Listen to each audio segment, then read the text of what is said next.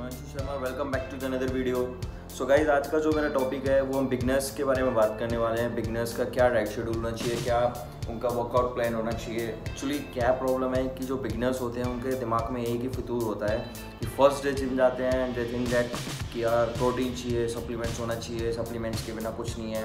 Guys I am just telling you बिना supplements के भी आप बॉडी बना सकते हैं और बहुत ही अच्छी फिजिक बना सकते हैं। बट यस ये सप्लीमेंट्स या स्टेरॉइड्स ड्रग्स ये सब यूज़ करना ये शॉर्टकट होता है फिटनेस लाइन का। आप वहाँ तक जहाँ जो भी आपका गोल है वहाँ तक पहुँचने के लिए आप शॉर्टकट यूज़ करते हो कि कम टाइम में आप वहाँ पर पहुँच जाएँ। बट गाइज़ आपको पता होना चाहिए हार्मफुल भी बहुत है। सो so, मैं आज ना आपको नेचुरल डाइट प्लान आपको बताने वाला हूँ और क्या प्रॉपर वर्कआउट शेड्यूल आपका होना चाहिए जिससे आप इजली अपनी वो फिज़िक तैयार कर सको जो आप सप्लीमेंट्स लेकर या और लोग जो सप्लीमेंट्स लेकर वहाँ तक जा रहे हैं। तो सबसे पहले तो गाइज़ मैं आपको बात बताना चाहूँगा कि जो स्किनी लोग होते हैं, इनका बॉडी फैट जो बॉडी का थोड़ा बहुत मसल मैस होता है, वो होता ही नहीं है। सो उनके लिए क्या करना चाहिए? देखो, अगर आप, आपका बॉडी मास ही नहीं है, आपके अंदर बॉडी वेट ही नहीं है आपका सो फ़र्स्ट ऑफ़ ऑल आपको अपनी डाइट पे फोकस करना पड़ेगा। डाइट में क्या लेना चाहिए? आपको अपने काप्स को इंक्रीज़ करना पड़ेगा। आपको इनटेक काप्स आपकी ज़्यादा होनी चाहिए, वो इसलिए होनी चाहिए क्योंकि काप्स आपका वेट गेन करने में हेल्प करेगा। अब जब तक आपका मसल मास ही नहीं होगा तो आपका मसल साइज़ कैसे गेन होगा? उसके लिए थोड़ा बहुत इनटेक में फ़ैट भी आना चाहिए। लेकिन प्रोटीन इनटेक आपका बॉडी वेट से डबल आपका होना चाहिए। सपोज़ कीजिए आपका बॉडी वेट 60 है सो 120 ग्राम या 110 ग्राम प्रोटीन आपको चाहिए। लेकिन अगर आप, हम यहाँ पे बिगनर्स के बारे में बात करें अगर आप पर डे का 80 टू 90 ग्राम प्रोटीन या अगर आप इनटेक में लेते हो एंड उसके बजाय आप काप्स को ज़्यादा इनटेक में लेते हो so this is the best diet plan for building up your muscle size and also your muscle mass also so उसके लिए गाइज़ आपको काप्स को इंटेक में ज़्यादा रखना पड़ेगा। अपनी बॉडी वेट से डबल प्रोटीन को भी आपको अपनी बॉडी वेट से डबल रखने की कोई ज़रूरत नहीं है। जितना हो सकता है काप्स पे फोकस करना है आपको। काप्स जितना ज़्यादा इनटेक में रखोगे, वो आपको एनर्जी प्रोवाइड करेगा। एनर्जी प्रोवाइड अगर आपकी तो आपकी बॉडी को एनर्जी अगर मिल रही है सो उससे आपकी स्ट्रेंथ गेन होती है। किसमें? जब आप वर्कआउट करोगे, जब आप जिम में जाते हो तो वहाँ आपको वो स्ट्रेंथ के एज अ स्ट्रेंथ आपका वो काम करता है। एज अ पावर आपका काम करता है, जिससे आप इजीली हैवी वेट लगा सकते हो। देखो गैस पता क्या होता है? क्या फंडा है? देसी फंडा है, ये समझ लो कि अगर आपकी इनटेक में कैलोरीज कम है इनटेक में कैलोरीज इनपुट कम है और आउट आउटपुट आपकी बॉडी ज़्यादा दे रही है।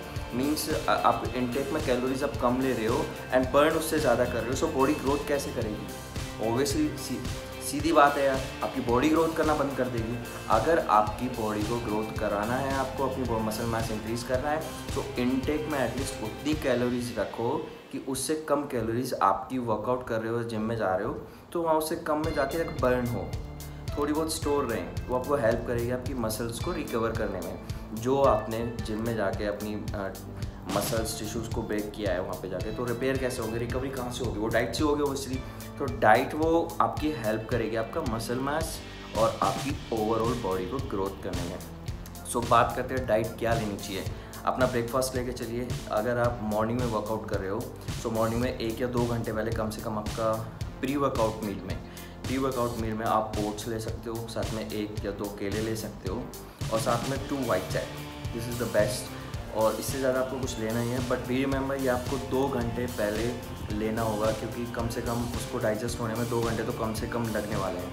सो so, ये आपकी हो गई pre workout meal after the workout post workout meal में आपको अपना प्रोटीन शेक अगर आप ले रहे हैं सप्लीमेंट्स अगर आप सप्लीमेंट्स ले रहे हैं तो अपना प्रोटीन शेक लीजिए अदरवाइज़ आप वाइट एग्स ऐड कर सकते हैं, साथ में टू होल एग्स ये आप अपना ऐड कर सकते हैं। उसके 25 मिनट्स बाद, उसके 25 मिनट बाद आप काप्स लोड करें थोड़ा काप्स लोड करें, साथ में थोड़ा सा प्रोटीन का सोर्स रखें लाइक अगर आप राइस ले रहे हैं, अगर आप वेजिटेरियन हैं सो राइस ले लीजिए और साथ में कोई प्रोटीन का सोर्स ले लीजिए अपना।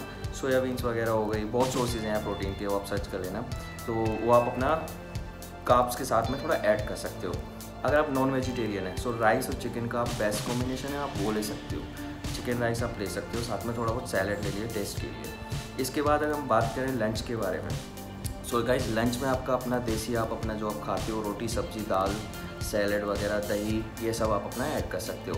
बट बी रिमेंबर गाइस थोड़ा थोड़ा खाना है क्वांटिटी थोड़ी होनी चाहिए। आप जो भी खा रहे हो, उसकी क्वांटिटी थोड़ी होनी चाहिए। ये नहीं कि यार आपने जितना ज़्यादा खाओगे, उतना आपकी बॉडी को लगने वाला है। ऐसा बिल्कुल भी नहीं है। ये भी ज़रूरी है, पता होना चाहिए कि आपकी बॉडी कितना एब्जॉर्ब कर पा रही है, कितना डाइजेस्ट कर पा रही है। ये भी जानना आपको, ये भी पता होना ज़रूरी है। अब सपोज़ कीजिए यार आप दस दस रोटियाँ खा रहे हो इतना इतना चिकन खा रहे हो, तीन तीन सौ, चार चार सौ ग्राम एक एक बारी में। एंड आपकी बॉडी उसको एब्जॉर्ब ही नहीं कर पा रही है यार, वो आपका वेस्ट जा रहा है, कोई फ़ायदा नहीं है इतना खाने का। आप चाहे आधे एक घंटे बाद उस चीज़ को दोबारा खा सकते हो, वो दोबारा ले सकते हो बट क्वांटिटी उसकी थोड़ी आपकी कम होनी चाहिए। तब आपको बेस्ट रिज़ल्ट मिलना स्टार्ट होंगे। ठीक है? सो लंच की बात कर रहे थे। लंच के बाद इन सब के बीच में आप थोड़ा अपना स्नैक्स ले सकते हैं like fruits and salads and और ये सब अपना अपनी तरफ़ से आप स्नैक्स ऐड कर सकते हैं। लंच के बाद अगर हम बात करें, एक दो घंटे के बाद आप फिर से अपना डाइट बनाइए। उसमें क्या ऐड करना है? काप्स का सोर्स होना चाहिए उसमें। ओट्स हो सकते हैं आपके, जो बनानाज हो सकते हैं एंड साइड में वो एंड हाँ वाइट एग्स आप उसमें ऐड कर सकते हो साथ में। आप चाहो तो थोड़े बहुत ओट्स में ड्राई फ्रूट्स एंड ऑल ये सब मिक्स कर सकते हो। टेस्ट बनाने के लिए अच्छा टेस्ट बनाने के लिए, अपने टेस्ट के अकॉर्डिंग वो सब आप ऐड कर सकते हो। अगर आप अंडे नहीं खा रहे हो तो और भी बहुत सारे प्रोटीन के सोर्सेज हो सकते हैं, वो आप ऐड कर सकते हो। साथ में आप एलमेंट्स यूज़ कर सकते हो, पंद्रह बीस साथ में ले लो उसके। बेस्ट है। इसके एक डेढ़ घंटे बाद आप, इसको डाइजेस्ट होने का थोड़ा टाइम दो। एक डेढ़ घंटे के बाद आप बनाना शेक ले सकते हो इवनिंग में। बनाना शेक को थोड़ा, उसको भी डाइजेस्ट होने का टाइम दो। इसके बाद पे आप अपना डिनर कर लीजिए। बट ध्यान रखना है गाइज़ आपको डिनर जितना जल्दी हो सके, उतना जल्दी करना है। ये नहीं है कि आप नौ दस बजे डिनर हो रहा है, आपका एंड जाके आप तुरंत सो जाओगे। सो थोड़ा फैट में कन्वर्ट हो जाए, उसको डाइजेस्ट होने का भी टाइम आपके पास होना चाहिए। सो डिनर में आप वही अपना दाल, रोटी, सब्ज़ी वो भी खा सकते हैं। अगर आप हो सके तो एग्स प्रोटीन प्रोटीन का सोर्स जो आपका है प्रोटीन सोर्स ज़्यादा रखिए। एंड काप्स का थोड़ा कम कर दीजिए रात को। थोड़ा कम आपको काप्स कर देना है। प्रोटीन सोर्स आपको बढ़ा देना है। एग्स बढ़ा दीजिए अगर आप नॉन वेजिटेरियन है तो। चिकन वगैरह भी आप ऐड कर सकते हो, साथ में थोड़े बहुत राइस ले सकते हो। इन सब के बीच में गाइस आप अपनी मर्ज़ी का हेल्दी होना चाहिए। अनहेल्दी कुछ भी नहीं होना चाहिए, बाहर का नहीं होना चाहिए ऑयली वगैरह ये सब नहीं खाना है। थोड़ा बहुत हेल्दी आप अपनी तरफ़ से ऐड कर सकते हो इसमें, इन सब डाइट्स के बीच में। मैं थोड़ा तुम्हें आइडिया दे रहा हूँ कि थोड़ा थोड़ा खाना है। ये डाइट मैं, देखो प्रॉपर डाइट नहीं है।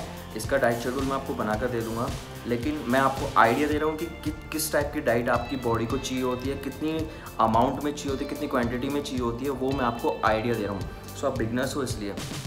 तो थोड़ा थोड़ा खाना है ज़्यादा नहीं खाना है लेकिन जो आपका मेन फोकस होना चाहिए वो होना चाहिए वर्कआउट पे। थोड़ा अपना नेचुरल पोटेंशियल ज़्यादा निकालना है आपको वर्कआउट के थ्रू जितना हो सके आपको नेचुरल पोटेंशियल अपना ज़्यादा निकालोगे सो नेक्स्ट टर्न में जब नेक्स्ट स्टेज पे आप जाओगे उस टाइम पे जब आप सप्लीमेंट्स यूज़ करोगे सो so वहाँ आपको बहुत ही ज़्यादा बेटर रिजल्ट्स मिलने के 100 परसेंट चांसेस हो जाते हैं। इट्स बिकॉज़ क्योंकि आपकी बॉडी ने ऑलरेडी नेचुरल इतना ज़्यादा पोटेंशियल निकाल चुका है इतना आउटपुट दे चुकी है कि जिस टाइम पे आप सप्लीमेंट शुरू करोगे तो उतना उतना जल्दी आपकी बॉडी ना उस चीज़ को कैच करती है एब्जॉर्ब करती है और उतना अच्छा आउटपुट आपकी बॉडी देना स्टार्ट कर देती है। सो so, ये ध्यान में रखना है आपको। इसके बाद अब आपको करना क्या है? वर्कआउट में अगर हम बात करते हैं तो वर्कआउट में देखो गाइज़ बहुत से लोग होते हैं रेपुटेशंस बहुत ज़्यादा हाई रखते हैं एंड उनका जो वर्कआउट का टाइम पीरियड होता है, वो भी कम से कम डेढ़ घंटे, एक घंटे, वो सोचते हैं शायद कि जितना ज़्यादा वर्कआउट करेंगे, उतना ज़्यादा हमारी फिज़िक तैयार होगी, उतनी अच्छी हमारी बॉडी शेप आएगी मसल गेन होगा। ऐसा कुछ भी नहीं है गाइस ऐसा कुछ भी नहीं है। सपोज़ कीजिए, आपकी इनटेक में कैलोरीज टू थाउज़ेंड है, आपकी इनटेक में कैलोरीज टू थाउज़ेंड है एंड आप वहाँ जाके बर्न करके आ रहे हो यार, उतनी कम से कम two thousand and five hundred आप कैलोरीज वहाँ पे बर्न करके आ रहे हो। आपकी बॉडी कहाँ से यार आपकी कैसे ग्रोथ कर जाएगी? अगर आपको इतना वर्कआउट करना है, इतना ही शौक है तो अपनी इनटेक कैलोरीज बढ़ा लो यार। अपनी इनटेक कैलोरीज बढ़ा लो और जाके कर लो उतना वर्कआउट उतना ठीक है। कोई भी यार, कोई भी है, एक घंटे से ज़्यादा लास्ट फोर्टी फाइव मिनट्स आपके लिए बहुत है। बहुत ही ज़्यादा है फोर्टी फाइव मिनट्स भी अगर मैं कहूँ तो यहाँ पे फोर्टी फाइव मिनट्स बहुत है आपके लिए। थोड़ा वेट गेन अगर मसल मास गेन करना है, थोड़ा वेट अपना सेट कीजिए, जिससे एट टू टेन रैप्स आपके हार्डली आएँ। एट के बाद आपके दो या तीन रैप लास्ट के थोड़ा हार्डली आए, उसमें मसल्स पेन होना आपके स्टार्ट कर दे। आपको फील होना चाहिए। दूसरी बात, आपकी मसल्स पर लोड आना चाहिए। वर्कआउट कर रहे हुए नहीं है कि यार उन्होंने बोला है कि बेंच लगानी है, इसके आठ रैप्स लगाने हैं, वो आठ रैप्स आपने लगाए और चल दिए। देखो अगर आप बेंच लगा रहे हो ना सो पूरा मसल्स आपकी लोड लोड आना चाहिए, आपकी मसल्स पे आपको फील होना चाहिए कि हाँ मेरी मसल्स लोड ले रही हैं। अगर आप चेस्ट वर्कआउट लगा रहे हो, जो भी मसल आप ट्रेन कर रहे हो, जिस भी मसल्स पे आप वर्क कर रहे हो, उस मसल्स को, उस मसल्स पे लोड आना ज़रूरी है। मसल्स को टेंशन में लाना बहुत ही ज़्यादा ज़रूरी है। तभी आपकी मसल्स ग्रोथ करना स्टार्ट करेगी अदरवाइज़ नहीं करेगी। ये वर्कआउट का बहुत बड़ा फंडा है यार गाइज़ देखो रेपिटेशंस लगाना कोई इतना हार्डली नहीं है इतना टफ नहीं है। कोई भी लगा लेगा कोई भी कर लेगा। किसी को बोलते हो ट्राइसेप्स लगा लो ये डम्बल्स लगा लो जो भी आप कुछ बताते हो हैमर लगा लो वो कर लेंगे। लेकिन मसल्स पे लोड डालना ये बहुत बड़ी बात है। वो बहुत बड़ी टेक्निक आपको यूज़ करनी पड़ेगी कि कैसे हम अपनी मसल्स पे लोड डाल सकते हैं। वो आपको टेक्निक सीखनी पड़ेगी। सो so, इस पर भी थोड़ा वर्क करना है आपको। एंड जितना हो सके ना आपसे जितना हो सके कम टाइम पीरियड अपना रखें वर्कआउट का, जितना हो सके 45 मिनट्स बहुत है आपके लिए।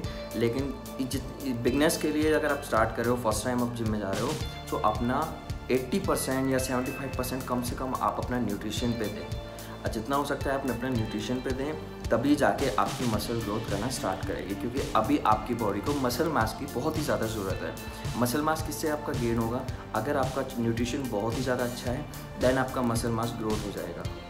फिर आप कोई प्रोटीन या इस सब के बारे में आप सोच सकते हो लेने के, अगर आप चाहते हो लेना देन आप ले सकते हो अदरवाइज़ कोई ऐसा नहीं है कि बिना प्रोटीन के आप बॉडी नहीं बना सकते या प्रोटीन से ही बॉडी बनती है, ऐसा बिल्कुल भी कुछ नहीं है। आप विदाउट सप्लीमेंट्स आप सब कुछ कर सकते हो, आप अपना गोल अचीव कर सकते हो, लेकिन थोड़ा टाइम पीरियड बढ़ जाएगा यार आपका।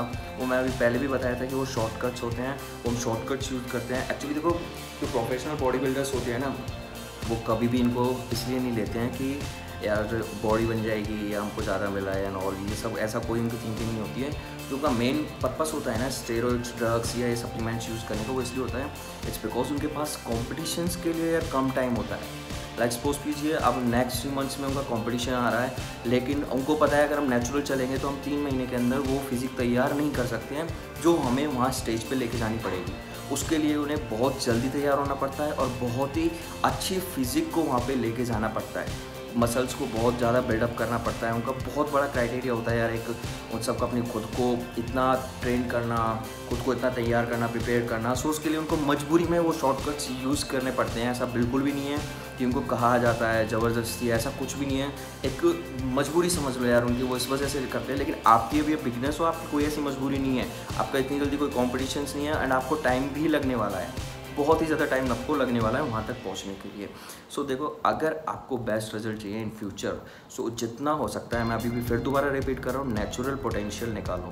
मैं कोई भी किसी भी ट्रेनर की तरह आपको ये नहीं बताऊँगा कि यार आप इतनी इंटेक में कैलोरीज लीजिए काउंट करके या फिर जो होते हैं ना आजकल के अंग्रेज़ी ट्रेनर्स कुछ भी नहीं है ऐसा बिल्कुल नहीं बोलूँगा। सीधा बोल रहा हूँ जो मुझे सिखाया गया है जो मैंने खुद अपने ऊपर इम्प्लीमेंट करके देखा है मैं अपना एक्सपीरियंस शेयर कर रहा हूँ आपके साथ। अच्छा खाओ, बढ़िया खाओ हेल्दी खाओ, दबा के खाओ, जितना हो सकता है। लेकिन क्वांटिटी हल्की हल्की थोड़ी रखना है, पेट नहीं भरना है फुल, उसको डाइजेस्ट होने का भी टाइम रखना है। अगली मील तब तक ना लें जब तक आपका पिछला मील डाइजेस्ट ना हो जाए। इन ये छोटी छोटी बातें यार अपना ध्यान रखोगे ना, बहुत ही जल्दी, बहुत ही कम टाइम में आपको वो रिजल्ट्स बहुत ही कम टाइम में आपको मिल जाएँगे। इस बात की गारंटी मैं दे रहा हूँ आपको, क्योंकि किसी टाइम में मैं भी यार फोर्टी फोर्टी फाइव के जी के आसपास था तो मैंने भी यही सब चीज़ किया, मैंने सब कुछ अपना के देख लिया, सारे काम करके देख लिए जिसने जो बताया ये खा ले, वो खा ले, सारे का कुछ करके देख लिया। लेकिन जब मैं स्टेप वाइज चला, मैंने खुद ये इन सब चीज़ों के बारे में स्टडी किया, मैंने कोर्स भी किया, तब मैंने पढ़ा तो तब पता लगा एक्चुअल में हमारी बॉडी की नीड्स ही क्या है, हमें यही नहीं पता थी उस टाइम पर तब मुझे जाके ये पता चला, असली में तो बॉडी की नीड्स यार ये सब होती है। वो सब तो हम ये लगा लो, फालतू में लगे रहे तो किसी ने कुछ बोल दिया, वो खा लिया, ऐसा बिल्कुल भी नहीं है। बिल्कुल भी नहीं है, ऐसा कुछ नहीं है जो लोग बोलते हैं ना। ये सप्लीमेंट्स आप प्रोटीन से गेनर से सबसे सबसे गलत बात है, सबसे झूठ बोलते हैं लगा लो। वो अपना अपना फ़ायदा देख रहे हैं। ऐसा इसमें कुछ भी नहीं है। अपना काप्स लोड करो यार अच्छे से। 80-90 ग्राम कम से कम प्रोटीन इनटेक में रखो अपना। और थोड़ा बहुत फैट इनटेक में रख लो। हेल्दी हो। ये सब खाओ, बहुत है इतना आपके लिए स्टार्टिंग में बिगनर्स के लिए। उसके बाद फिर एक नई वीडियो लेके आऊँगा। उसके बाद फिर आपको बताता हूँ। अभी तक जिसने भी मेरी वीडियो देखी है या रुके हुए हो अभी तक मेरी वीडियो देख सबसे पहले मैं आपको थैंक यू बोलना चाहता हूँ। एंड उन लोगों को भी थैंक यू बोलना चाहता हूँ जिन लोगों ने मेरा चैनल सब्सक्राइब किया है। एंड प्लीज़ जिन्होंने नहीं भी किया है प्लीज़ मेरा चैनल सब्सक्राइब कर दीजिए। और नई वीडियोज़ मैं आपके लिए लाता रहूँगा। अगर आपको ये वीडियो अच्छी लगी, पसंद आई सो प्लीज़ शेयर कीजिए लाइक कीजिए। मैंने कुछ प्लीज़ मुझे कमेंट करके बता दीजिए गाइज़ ये वीडियो कैसी थी। अगर थोड़ा बहुत आपको लगता है कि मे बी इन्फॉर्मेशन कम है या कुछ भी है, जैसा भी है प्लीज़ कमेंट्स करके बता दीजिए। तो thank you so much again guys for यहाँ तक मेरी वीडियो देखने के लिए। प्लीज़ शेयर कीजिए एंड जितने भी बिगनर्स आपके साथ में जो जिम करने का स्टार्ट कर रहे हैं प्लीज़ उन तक ये इन्फॉर्मेशन जाके पहुँचाइए। Thank you so much thank you so much guys love you bye bye see you